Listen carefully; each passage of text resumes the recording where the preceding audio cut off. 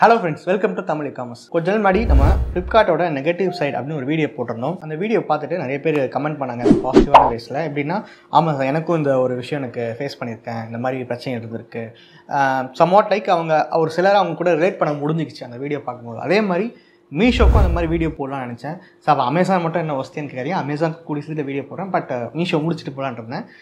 மீஷோவில் நிறையா பாசிட்டிவ் சைடும் இருக்குது நெகட்டிவ் சைடும் இருக்குது ஏன்னா நம்ம சேனலை பார்த்திங்கன்னா மீஷோ பற்றி ரொம்ப வீடியோ போட்டிருக்க மாட்டேன் எனக்கு தெரிஞ்சு ஒரு அதிகபட்சம் ஒரு வீடியோ போட்டிருப்போம். ஏன்னா ஒரு சில வீடியோவில் பேசியிருப்போம் மீஷோ பற்றி கம்பேரிட்டிவ்லி பார்த்திங்கன்னா இன்றைக்கி இருக்கிற மல்டி வெண்டர் வெப்சைட்டில் மல்டி வெண்டர் வெப்சைட்னா ஃப்ளிப்கார்ட் அமேசான் மாதிரி வெப்சைட்டில் மீஷோ வந்து பேமெண்ட்டில் கொஞ்சம் கரெக்டாக இருக்கக்கூடிய வெப்சைட் கம்பேரிட்டிவ் இப்போ ஸ்னாப்டீல் ஷாப்லூஸ்லாம் எடுத்திங்கன்னா ஒரு பேமெண்ட்லாம் வந்து மேக்ஸிமம் ரொம்ப கஷ்டம். கிட்டத்தட்ட நான் நிறைய வீடியோ சொல்லியிருப்பேன். அதனால தான் நான் இன்றைக்கி வரைக்கும் ஸ்னாப்டீல் ஷாப் க்ளூஸை நான் வந்து போகாதீங்கன்னு நான் சொல்லிவிடுவேன் ரெண்டாவது மீஷோவில் பார்த்தீங்கன்னா ஜீரோ கமிஷன் அதாவது இப்போ அமேசானில் நீங்கள் ஒரு ஐநூறுரூபாய்க்கு ஒரு பொருள் வைத்தீங்கன்னா அந்தந்த கேட்டகரிக்குன்னு ஒரு ஸ்லாப் வச்சுருப்பாங்க. ஸோ கார்மெண்ட்ஸ்னால் இவ்வளோ பர்சன்டேஜ் டுவெல் பர்சன்ட்டோ எயிட் எயிட் டு டுவெல் பர்சன்ட்டோ சம்திங் இருக்கும். அதே மாதிரி ஒரு குறிப்பிட்ட அமௌண்ட் அதிகமாகும் போது ஐநூறுரூபாய்க்குள்ளனா இவ்வளோ பர்சன்டேஜ் ஆஃப் கமிஷன் சொல்லுவாங்க. ஐநூறுரூபாய்க்கு மேலே போச்சுன்னா இவ்வளோ கமிஷன் சொல்லுவாங்க. ஃபிக்ஸட் க்ளோசிங் ஃபீஸ்ன்னு தனிக்கு வாங்குவாங்க. இந்த மாதிரி ந- ஒரு சில அடிஷ்னலாக சார்ஜஸ் அவங்களோட அவங்களோட சர்வீஸ்க்கு ஏற்ற மாதிரி சார்ஜஸ் கேட்பாங்க. ஃப்ளிப்கார்ட் ஆகட்டும் அமேசான் ஆகட்டும்.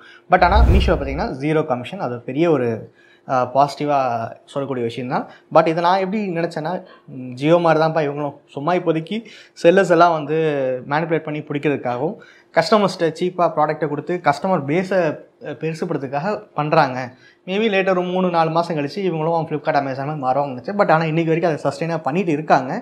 ஸோ அதுவும் வந்து ஒரு பெரிய ஒரு பாசிட்டிவான ஒரு விஷயம் தான் நம்ம உண்மையிலே அவங்களுக்கான கிரெடிட்ஸை கொடுக்கணும். ஃப்யூச்சர்லேயும் அதே மாதிரி இருப்பாங்களான்றது வெயிட் பண்ணி தான் பார்க்கணும்.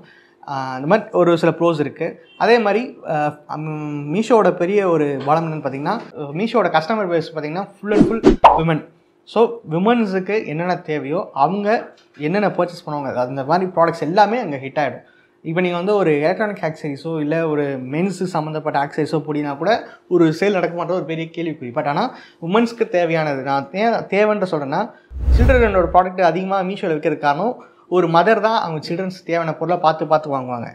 ஸோ அது வந்து ஒரு ஒரு உமன்ஸ்க்கான ப்ராடக்ட் இல்லைனா கூட அவங்க வாங்கக்கூடிய ஒரு கஸ்டமர் நான் ஆல்ரெடி நம்ம ஒரு ஷார்ட்ஸ் கூட போட்டிருக்கேன். சூப்பராக இருக்கும். வேணால் போய் பாருங்கள் கஸ்டமருக்கும் கன்சூமருக்கும் என்ன வித்தியாசம்னு அதை போட்டிருப்பேன். ஜஸ்ட்டு ஒரு நல்ல ஒரு கண்டென்ட் நான் கொடுத்துருப்பேன்.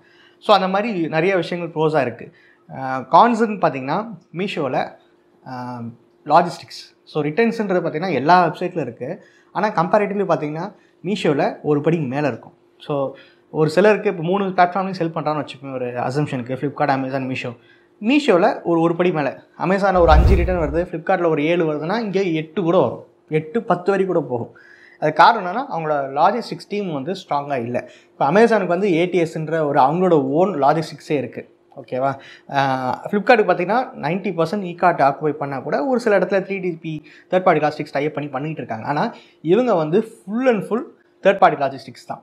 லைக் நான் ஷிப் ராக்கெட் வீடியோ கூட சொல்லியிருப்பேன். நீங்கள் ஒரு ஓன் வெப்சைட் கிரியேட் பண்ணி ஷிப் ராக்கெட்டில் போயிட்டு யார் சீப்பாக கொடுக்குறாங்களோ அவங்ககிட்ட போயிட்டு நம்ம அவங்களோட சர்வீஸை பை பண்ணிப்போம் இல்லையா? எக்ஸ்ப்ரோ ஃபீஸ் கம்மியாக கொடுத்தா எக்ஸ்ப்ரோ ஃபீஸ் இகாம் எக்ஸ்பிரஸ் கம்மியாக கொடுத்தா இகாம் எக்ஸ்பிரஸ் அந்த மாதிரி மீஷோ அந்தந்த பின்கோடுக்கு யார் கம்மியாக இருக்காங்களோ செலவு கம்மியாக ஷிப்பிங் சார்ஜ் கம்மியாக கேட்குறாங்களோ அவங்கள புக் பண்ணி கொடுத்துட்றாங்க. ஸோ அதனால் அவங்ககிட்ட ப்ராப்பரான லாஜிஸ்டிக்ஸ் இல்லாதனால அதிகமான ரிட்டர்ன்ஸ் செல்லர்ஸ் ஃபேஸ் பண்ணுறாங்க கஸ்டமர்ஸ்க்கும் கண்டிப்பாக பொருள் போய் சேர்றத ரொம்ப கஷ்டமாக இருக்குது நிறைய இடத்துல நான் ஒரு கஸ்டமராக ஃபீல் பண்ணியிருக்கேன். என்னோடய லேப்டாப்புக்கு ஒரு பேக் ஆர்டர் பண்ணேன். ஏழாந்தேதி நான் ஆர்டர் போட்டேன். எனக்கு கைக்கு வரதுக்கு இருபத்தி நாலாந்தேதி வந்துச்சு. ஏழாந்தேதிலேருந்து இருபத்தி நாலாந்தேதி வரைக்கும் ஒரு கஸ்டமர் பொறுமையாக வெயிட் பண்ணுவாங்களான்னு கேட்டிங்கன்னா ரொம்ப கஷ்டம். நீங்கள் எப்படி சார் வெயிட் பண்ணுங்கன்னு கேட்டிங்கன்னா வேறு வழியில் எனக்கு நானும் மெயில் போட்டு பார்த்தா அந்த ஆர்டர் வரும்போது கேன்சல் பண்ணுங்கள் உங்களுக்கு ரீஃபண்ட் வந்துடும் அப்படின்னு சொல்கிறாங்க ஸோ அந்த மாதிரி சமயத்தில் ஒரு கஸ்டமரும் பாதிக்கப்படுறாங்க. ஸோ நிறைய பேர் இந்த மாதிரி கஸ்டமர் கேன்சல் பண்ணாலும் சிலரும் பாதிக்கப்படுவாங்க. ஸோ இந்த மாதிரி விஷயங்கள்லாம் கண்டிப்பாக அவங்க ஓவர் கம் பண்ணுவாங்கன்னு நினைக்கிறேன். ஸோ இது வந்து ஒரு சிலராக நம்மளால் எதுவுமே பண்ண முடியாது. நம்ம ஒரு சிலராக வந்து மீஷோவோட கம்பெனிக்கிட்ட போயிட்டு இந்த மாதிரி லாஜிஸ்டிக்ஸ்லாம் போய் எடுத்துக்கோங்க. இந்த மாதிரி லாஜிஸ்டிக்ஸ் டீம் மட்டும் ரெக்கமெண்ட் பண்ணுங்கன்னு சொல்ல முடியாது. நம்ம நிறைய முயற்சிகள் நம்மளால் முடிஞ்ச முயற்சிகள் என்ன பண்ணோம் பார்த்தீங்கன்னா இ காமர்ஸஸ் மாதிரி ஒரு ஒஸ்ட் கேஸ் சினாரியோ லாஜிஸ்டிக்ஸ் எல்லாம் வந்து அவாய்ட் பண்ணுறதுக்கு டிக்கெட் ரைஸ் பண்ணுவோம். அவங்கள பிளாக் பண்ண வைப்போம். டூ ப்ரைஸிங் அதாவது சாரி டியூவல் ப்ரைஸிங் சொல்லுவாங்க. ரிட்டர்ன் போடுறதுக்கே வந்து இவ்வளோ மாதிரி ஒரு ரெண்டு விதமான ப்ரைஸிங் செட் பண்ணுவோம். அதெல்லாம் பண்ணால் கூட லாஜிஸ்டிக்ஸ் கரெக்டாக தான் தானே பண்ண முடியும். யோசிச்சு பாருங்களேன். உங்களுக்கு டேட்டா ஃப்ரீ கால்ஸ் ஃப்ரீ எல்லாமே ஃப்ரீ ஆனால் டவர் மட்டும் கிடைக்காதுன்னா அது என்ன அர்த்தம் இருக்குது அந்த மாதிரி தான் எதுவும் ஏன் சொல்கிறேன்னா இப்போ கூட ரீசெண்டாக மெயில் வந்துச்சு. நெக்ஸ்ட் டே டிஸ்பேச் ஆப்ஷனுக்குள்ளே நீங்கள் ஆப்டின் ஆகிட்டிங்கன்னா உங்களுக்கு ரிட்டர்ன்ஸ் குறையும். நெக்ஸ்ட் டே நான் டிஸ்பேச் பண்ண நான் ரெடியாக இருக்கேன். ஏன் இன்றைக்கி டூ டே அதாவது சிக்ஸ் ஹவர்ஸ் டிஸ்பேச் கூட ரெடியாக இருக்கேன். ஆனால் பிக்கப் பண்ணுறதுக்கு வரணும் இல்லையா? ஏன்னா இன்றைக்கி நம்ம ரெடி டு டிஸ்பேச் கொடுத்தா ஏழு நாள் கழிச்சு தான் இ காமர்ஸ் ப்ளஸ் எட்டி பார்க்குறாங்க அந்த மாதிரி இருக்க சமயத்தில் நம்ம இன்றைக்கி கொடுத்தா என்ன? ஒரு வாரம் கழிச்சு கொடுத்தா என்ன? சரி டிஸ்பேச் பண்ணியாச்சு வாங்கிட்டு போயிட்டாங்க. அந்த இடத்துல இப்போ கரெக்டாக அவங்க போய் டெலிவரி பண்ணணும் இல்லையா? ஃபார் எக்ஸாம்பிள் பிக்கப் பண்ணுற லாஜிஸ்டிக்ஸும் ஒழுங்காக இருக்கணும். ட்ராப் பண்ணுற அதாவது கஸ்டமர்ஸ்ட்டை போய் இந்த ப்ராடக்ட்டை டெலிவரி பண்ணுற லாஜிஸ்டிக் டீமும் கரெக்டாக இருக்கணும். இது ஏன் சொல்கிறேன்னா ரெண்டு மூணு ஸ்டூடெண்ட்ஸ் என்ன சொன்னாங்க சார் அதாவது என்னோடய சர்க்கிளில் பார்த்தீங்கன்னா எக்ஸ்பிரஸ் ஃபீஸு அப்புறம் டெலிவரியில் ரொம்ப ஸ்ட்ராங்காக இருக்காங்க. நான் அவங்கள மட்டும் தான் நான் வந்து அக்செப்ட் பண்ணிக்கிறேன். அதே மாதிரி அவங்க அந்த ஒரு கஸ்டமர் பாயிண்ட் ஆஃப் வியூவில் இருக்க டெய்லியிலையோ மும்பையிலையோ டெலிவரி இருக்கும். எக்ஸ்பிரஸ் இருக்கும். அவங்களும் கரெக்டாக இருக்கணும் இல்லையா? ஸோ அதனால் மீஷோ கண்டிப்பாக இதுக்கு அவங்களால மட்டும் தான் முடியும். ஒரு சிலராக நம்ம வந்து ப்ராப்ளம் தான் சாரி டிக்கெட் தான் ரைஸ் பண்ண முடியுமே தவிர அவங்க தான் அதை பார்த்து ஒரு ஆடிட்டிங் டீம் மாதிரி வச்சு பண்ணலாம் பண்ணால் தான் அடுத்தடுத்த கட்டத்துக்கு செல்லர்ஸ்க்கும் சாட்டிஸ்ஃபை வாங்க கஸ்டமர்ஸும் சாட்டிஸ்ஃபை வாங்க. ஏன்னா ஒரு மல்டி வெண்டரோட வெப்சைட்டோட மோட்டோ என்னென்னா ஒரே டைமில் செல்லரையும் சந்தோஷமாக வச்சுக்கணும் கஸ்டமரையும் சந்தோஷமாக வச்சுக்கணும். இவங்களுக்கும் சர்டன் ரூல்ஸ் அண்ட் ரெகுலேஷன்ஸ் கொடுக்கணும் அவங்களுக்கும் சர்டன் ரூல்ஸ் அண்ட் ரெகுலேஷன்ஸ் கொடுக்கணும். அப்படி இருந்தால் தான் இந்த பிஸ்னஸை ஒரு லாங் டேர்முக்கு ரன் பண்ண முடியும். மீஷோ அந்த இடத்துல நிறைய இடத்துல தவறு விட்டுட்டே இருக்காங்க. இதை அவங்க ஓவர் கம் பண்ண முடியாமல் லாஜிஸ்டிக்ஸை ஓவர் கம் பண்ணிட்டாலே நைன்ட்டி பர்சன்ட் இஷ்யூஸ் சால்வ் ஆகிடும் செகண்ட் வந்து பார்த்திங்கன்னா ஃபேக் ரேட்டிங்ஸ் இதுவும் நான் சொன்ன மாதிரி எல்லா போர்ட்டலையும் காமன் தான். அவாய்ட் பண்ணவே முடியாது.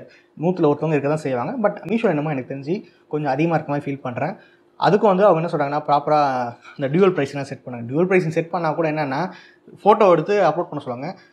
பையஸ் என்ன அந்த டைமில் கரெக்டாக ஃபோட்டோ எடுத்து அப்ளை பண்ணிட்டு கொடுக்கும்போது வேறு பொருள் வச்சு கொடுத்தா நம்ம என்ன பண்ண முடியும்? ஸோ இதுக்கெல்லாம் அவாய்ட் பண்ணுறதுக்கு ப்ராப்பராக வீடியோகிராஃப் மாதிரி எடுத்து வச்சுருவாங்க. ஒரு ஆர்டர் ரெண்டு ஆர்டர்னா பரவாயில்ல. ஒவ்வொரு ஆர்டருக்குமே நம்ம வீடியோ எடுத்து வச்சுருக்க முடியுமா? கொஞ்சம் கஷ்டமான வேலை தான். அதுக்கும் அவங்க ஏதாவது ஒரு ஆக்ஷன் எடுத்தே ஆகணும். வேறு வழியே இல்லை.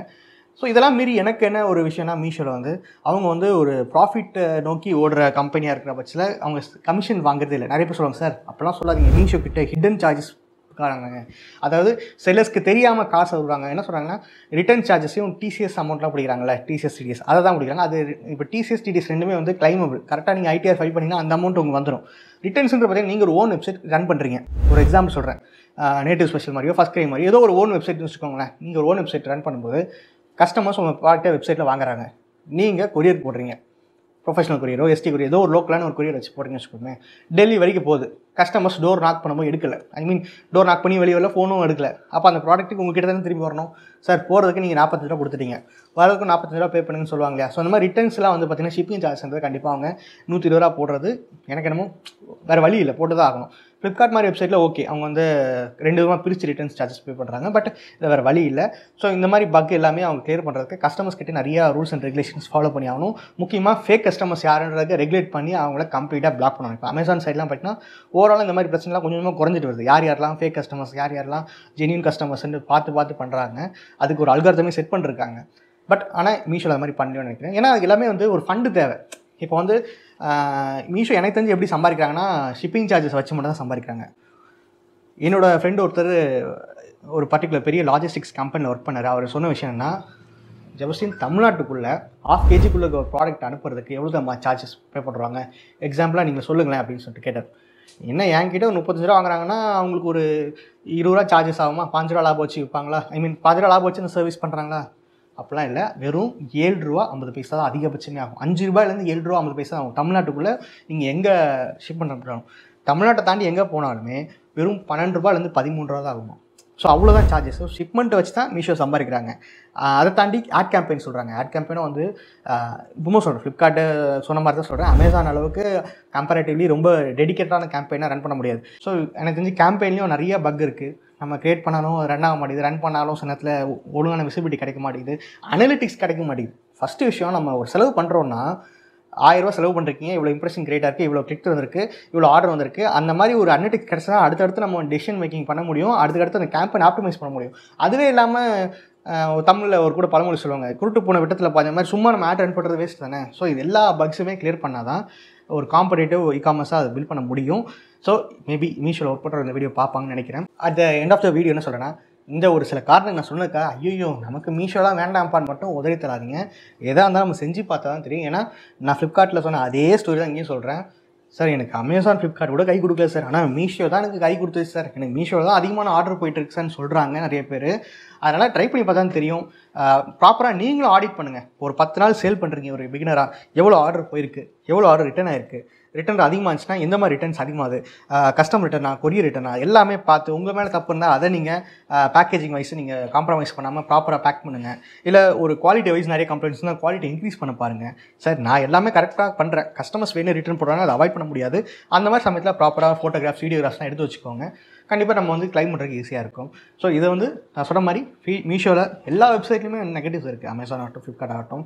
ஸோ ஆனால் அந்த நெகட்டிவ்ஸை பார்த்து பயப்படாமல் நம்ம செஞ்சு பார்த்தா தெரியும். அந்த நெகட்டிவ்ஸும் பாசிட்டிவாக மாற்றுறது தான் ஒரு நல்ல செலரோட திறமைன்னு சொல்லுவேன் ஸோ இந்த வீடியோ எப்படி இருந்துச்சுன்னு கமெண்ட் பண்ணுங்கள் மறக்காமல் நம்மளோட தமிழ் காம் சேனலில் சப்ஸ்கிரைப் பண்ணிக்கோங்க. இதோட வீடியோஸ் மிஸ் பண்ணாமல் பார்க்கணும்னா பக்கத்தில் இருக்க பெல் ஐக்கானே ப்ரெஸ் பண்ணிக்கோங்க. தேங்க்யூ